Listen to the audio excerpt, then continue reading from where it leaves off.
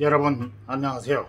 지금부터 꽃이 먼저 피는 나무가 있는가 하면에 관해서 말씀드리겠습니다. 잎이 먼저 나오는 잎이 먼저 나오는 나무도 있다. 일찍 꽃이 피는 나무가 있는가 하면 한참 늦게 피는 나무도 있다. 꽃이 큰 나무가 있는가 하면 꽃이 작은 나무가 있다. 꽃이 많이 핀 나무가 있는가 하면 꽃이 적게 피는 나무도 있다. 무화과는 봄이 되어도 늦게까지 깨지 않고 있는 듯 하다가 잎보다 열매가 먼저 나온다. 배롱나무는 참으로 늦게까지 깨지만 석 달 열흘이나 붉은 꽃을 달고 열정을 불태운다. 늦게 핀다고 어찌 꽃이 아니며 꽃이 없다고 어찌 나무가 아니랴.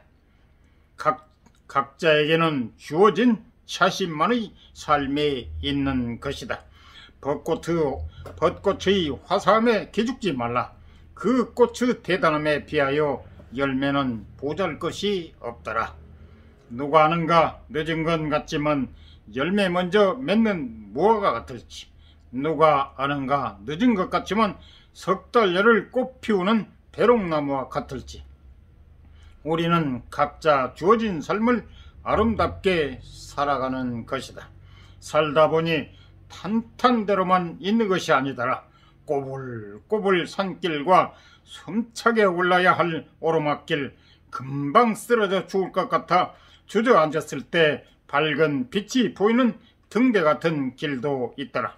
숨가쁜 인생길 이리저리 넘어져 보니 어느새 함께 가는 벗이 생겼고 따뜻한 눈으로 바라보고 아껴주는 아름다운 이들이 함께 가고 있더라.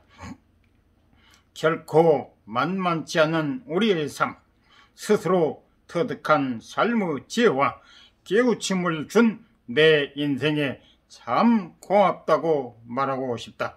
한치 앞을 모르는 우리의 내일을 처진 어깨에 감싸주고 토닥이며 참 좋은 이들과 함께 가는 동행길 그 또한 행복이 아니던가 이상 도움이 되셨으면 구독, 좋아요, 알람 꾹 눌러주세요.